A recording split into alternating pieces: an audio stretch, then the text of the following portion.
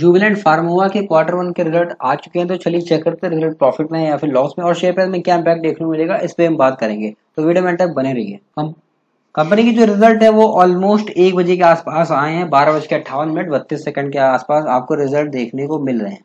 तो चलिए चेक करते रिज़ल्ट कैसे आए हैं।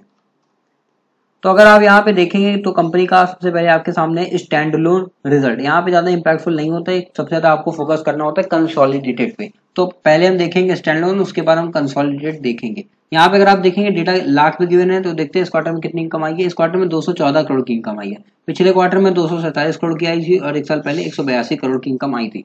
तो इनकम जो है कम हो चुकी है क्वार्टर क्वार्टर पे, लेकिन साल दर साल की तुलना में अभी भी इनकम ज़्यादा देखने को मिल रही है. अब हम बात करते हैं एक्सपेंस की तो यहाँ पे देख सकते हैं एक्सपेंस टोटल एक्सपेंस तो यहाँ पर 22 करोड़ का सॉरी 221 करोड़ का एक्सपेंस खर्च होते हुए देखने को मिला है। पिछले क्वार्टर में 232 करोड़ का एक्सपेंस था और एक साल पहले एक सौ तिरासी करोड़ का एक्सपेंस खर्च हुआ था। तो एक्सपेंस जो है क्वार्टर क्वार्टर पे कम है, लेकिन साल दर साल की तुलना में एक्सपेंस अभी ज़्यादा देखने को मिल रहा है। अब बात करते हैं प्रॉफिट बिफोर टैक्स की। तो यहाँ पे अगर आप प्रॉफिट देखेंगे तो अभी एक्चुअली इस क्वार्टर में प्रॉफिट ना होने की वजह लॉस हुआ है। छह करोड़ उनचास लाख का कंपनी को इस क्वार्टर में लॉस हुआ है। पिछले क्वार्टर में पंद्रह करोड़ का प्रॉफिट था और एक साल पहले निन्यानवे लाख का लॉस था। तो कह सकते हैं कि आपकी बार जो नतीजे हैं क्वार्टर क्वार्टर बेसिस पे भी अच्छे नहीं है और साल दस साल की तुलना में भी नतीजे अच्छे देखने को नहीं मिल रहे हैं। यहाँ पर स्टैंड लोन बेसिस पे अगर हम देखें तो नेट प्रॉफिट देखेंगे तो माइनस फाइव करोड़ का है पिछले क्वार्टर में दस करोड़ का प्रॉफिट था एक साल पहले छिहत्तर करोड़ का माइनस था। तो स्टैंड लोन तो साफ़ साफ़ नज़र आ रहा है कि स्टैंड लोन रिज़ल्ट हमें वीक देखने को मिल रहा है क्वार्टर क्वार्टर पे भी ईयर ऑन ईयर पे भी। आइए देखते हैं कंपनी के standalone sorry consolidated result तो यहाँ पे आपके सामने लिखा हुआ है कंसोलिडेटेड यहाँ पे जो भी डेटा है वो लाख में गिवन है। तो देखते हैं कि यहाँ पे कितनी इनकम आई है। तो यहाँ पे अगर आप देखेंगे तो इनकम ऑलमोस्ट एक सौ छियालीस चौदह तिरसठ करोड़ के आसपास देखने को मिली है। पिछले क्वार्टर में पंद्रह चौबीस करोड़ की इनकम थी। एक साल पहले देखेंगे तो सोलह अड़तीस की इनकम थी। तो यहाँ से भी साफ़ नज़र आ रहा है कि इनकम कम हो गई। क्वार्टर क्वार्टर पे भी ईयर ऑन ईयर पे भी। तो यहाँ पे थोड़े से इनकम जो है वीक नज़र आ रहे हैं। एक्सपेंस देख लेते हैं। तो एक्सपेंस देखेंगे तो तेरह सौ तिरानवे करोड़ का एक्सपेंस खर्च किया पिछले क्वार्टर में चौदह सौ बीस था। एक साल पहले तेरह सौ बयासी था। तो एक्सपेंस भी यहाँ पे आपको क्वार्टर क्वार्टर पे कम देखने को मिल रहा है, लेकिन साल दर साल की तुलना में एक्सपेंस ज़्यादा देखने को मिल रहा है। अब बात करते हैं प्रॉफिट बिफोर टैक्स की। तो प्रॉफिट बिफोर टैक्स देखेंगे तो यहाँ पे 69 करोड़ का प्रॉफिट है। पिछले क्वार्टर में 105 करोड़ का प्रॉफिट था, एक साल पहले दो सौ छियालीस करोड़ का प्रॉफिट था। तो यहाँ से साफ़ नज़र आ रहा है कि प्रॉफिट में कमी आ रही है। क्वार्टर क्वार्टर पे भी कमी है ईयर ऑन ईयर बेसिस पे भी कमी है। नेट प्रॉफिट देखेंगे तो छियालीस करोड़ का प्रॉफिट है, एक साल पहले फिफ्टी करोड़ का प्रॉफिट था, एक साल एक साल पहले देखेंगे तो 160 करोड़ का प्रॉफिट था। तो ऑल ओवर स्टैंड लोन भी आपको वीक देखने को मिला है और कंसोलिडेटेड भी आपको वीक देखने को मिला है। तो स्टॉक में जो आज के दिन सेलअप आया है, ये जो सेलअप आपको देखने मिल रहा है। बारह पचपन के बाद से जो सेलिंग आया है मतलब सेलिंग जो आई है, उसके पीछे रीजन यही है। कंपनी के जो रिज़ल्ट है, वो जैसे अनाउंस हुए, तुरंत मार्केट में सेलअप आया स्टॉक नीचे आ गया।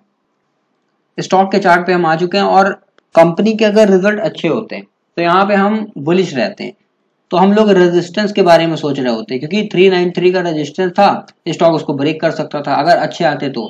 लेकिन आए हैं वीक तो थोड़ा सा प्रेशर आ सकता है। आज के दिन भी मार्केट में बिहेवियर प्रेशर का देखने को मिला है सेलिंग प्रेशर आया है। तो यहाँ से जो नेक्स्ट सपोर्ट बन रहा है, आसपास बन रहा है तीन सौ इक्यावन के आसपास, बहुत ही टाइट के सपोर्ट है। मतलब इसके ब्रेक होने की चांसेस काफ़ी ज़्यादा है। 351 पहला सपोर्ट रहने वाला है, इसके ब्रेक होने की प्रोबेबिलिटी ज़्यादा है। अब नेक्स्ट सपोर्ट की बात करते हैं। नेक्स्ट सपोर्ट है three three eight three three eight एक नेक्स्ट सपोर्ट यहाँ से निकल के सामने आ रहा है।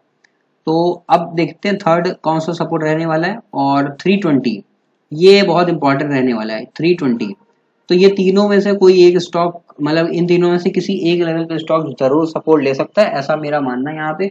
और ज़रूरी नहीं कि स्टॉक 351 तक आए स्टॉक ऊपर भी जा सकता है, क्योंकि बड़े प्लेयर्स जो है, उल्टा काम कभी कभी कर देते हैं। लोगों को लगता है कि इसमें सेल करना है, लोग सेल करते हैं, एक तरह से वो बाय करने लगते हैं। तो इस वजह से स्टॉक नीचे आने की वजह ऊपर चला जाता है। तो हो कुछ भी सकता है, लेकिन मोस्ट प्रोबेबली जितना मतलब प्रोबेबिलिटी का खेल है, आपको पता है मार्केट तो प्रोबेबिलिटी के हिसाब से देखें तो गिरने की चांसेस हमें ज़्यादा देखने को मिल रही है। तो यहाँ पे जो भी लोगों ने ऊपर के लेवल पे बाय करके रखा है, देखिए यहाँ पे आपको अभी भी मैं कहूँगा कि अभी सेल करने का मौका नहीं है। सेल मत करिए, क्योंकि 900 के लेवल तक एक टाइम पे कंपनी थी।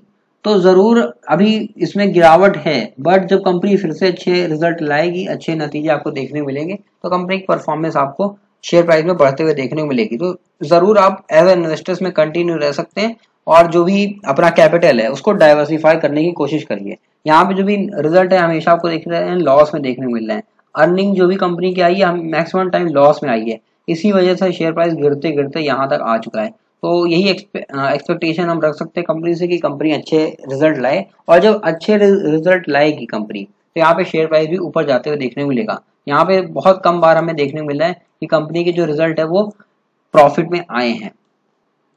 तो ज़रूर आप इसमें कंटिन्यू रह सकते हैं, क्योंकि अभी सेलिंग का एक अच्छा लेवल नहीं है। रिज़ल्ट अच्छे नहीं आए, एक दो दिन की सेलिंग है, उसके बाद स्टॉक फिर से 361 पे आ जाएगा तो घबराना नहीं है। आई होप वीडियो अच्छी लगी इस वीडियो को लाइक करिए चैनल को सब्सक्राइब करिए। स्टॉक को बाय करने से पहले या फिर सेल करने से पहले, एक बार अपनी एनालिसिस ज़रूर करिए और अपने फाइनेंशियल एडवाइजर से कंसल्ट ज़रूर करिए। मिलते हैं नेक्स्ट वीडियो में, तब तक के लिए बाय बाय